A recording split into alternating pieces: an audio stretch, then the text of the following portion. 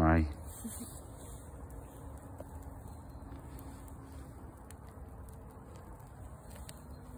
Vamos ver,